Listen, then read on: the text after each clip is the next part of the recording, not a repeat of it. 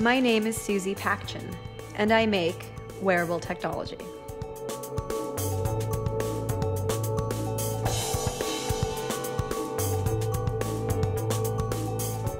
Fashion and technology have always been intertwined, and the new frontier now is smart materials or the actual literally embedding of electronics into our garments themselves.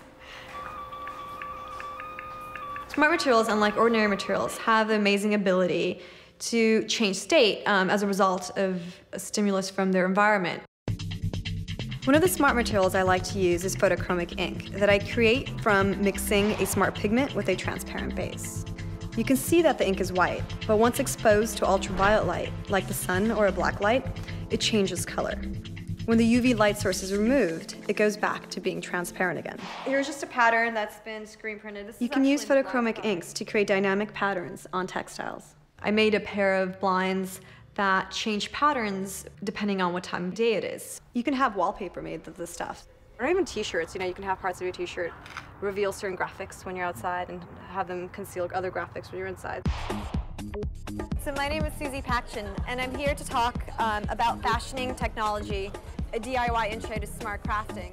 The idea behind smart crafting was getting people to think about creating objects and textiles or toys that are responsive or dynamic or reactive. Some of my influences stem from, you know, a little bit of sci-fi literature, you know. I love the Space Invaders tote because it's just a fun, quirky bag that you would carry out with you when you're out at night. It gives you an ambient signal. The little um, LED eyes on the Space Invader tote will start to start to blink to let you know that you're getting a call. It's just an electromagnetic field sensor. You can switch it up so you can have your whole bag glow on the interior. One thing I made is Ariel the birdie brooch. Ariel is a custom printed circuit board. When you're outside in the sun, she starts to sing to you. And the way Ariel works is she's powered by a solar panel. So her circuit gets excited um, just as the sun rays fall, and it activates her voice.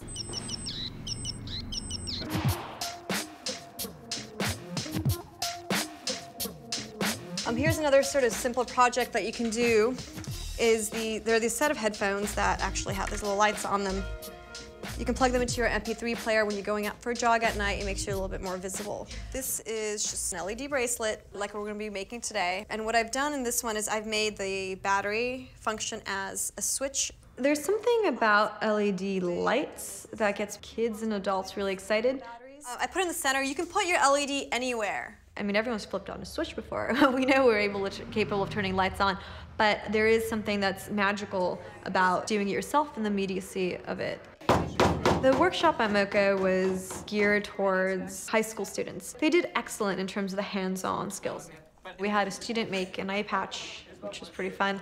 And uh, another one made an anklet. It was an LED on placed on his ankle, and it was intended for when he went bike riding as a little safety light. Yeah, perfect. awesome. When I left the building, I saw a group or a clan of little red glowing things walking down the street, and it was, it was pretty nice to see, and they all seemed pretty excited about what they had just made in a couple of hours. Excellent.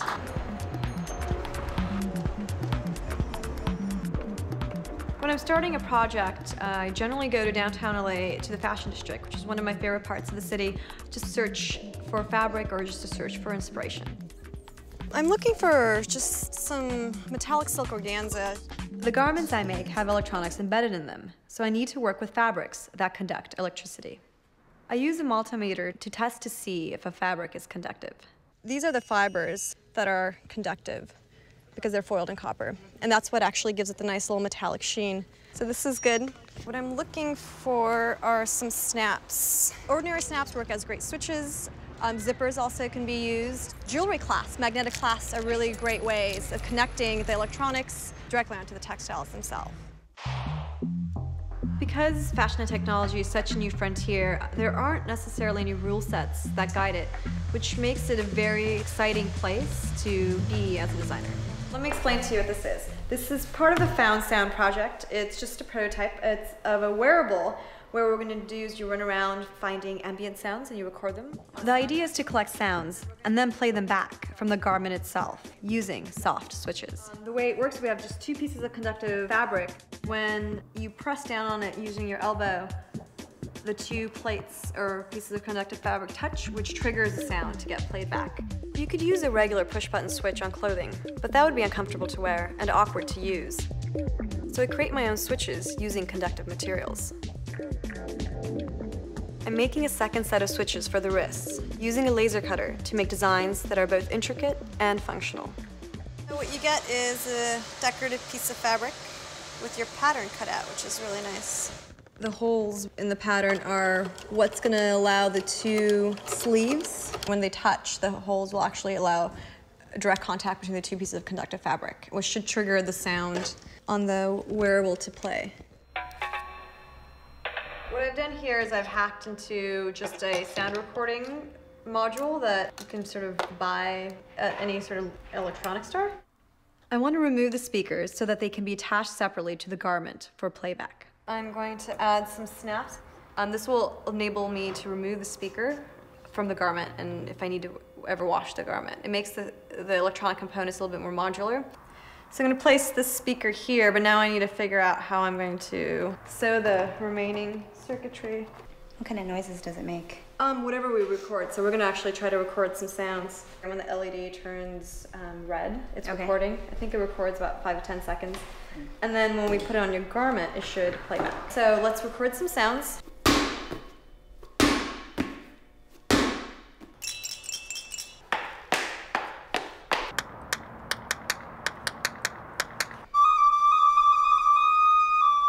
That's pretty good. Super skills. I like it.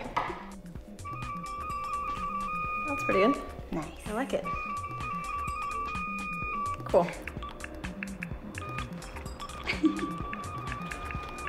It can be really fun at a party. Yeah, totally. Touch me when I make sounds. For me, it's about combining the high tech with the low tech and developing something that brings a sense of delight.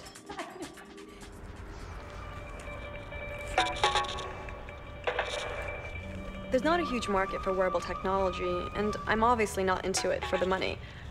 It's the discovery process that excites me, discovering new ways of self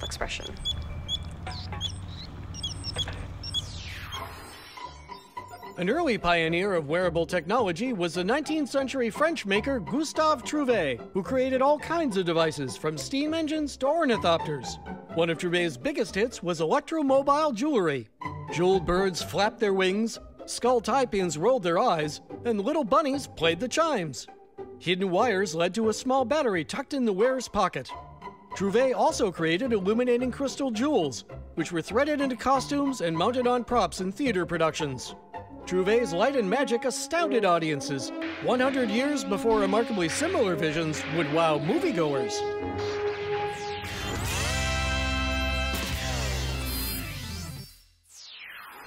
Major funding for Make is provided by Geek Squad,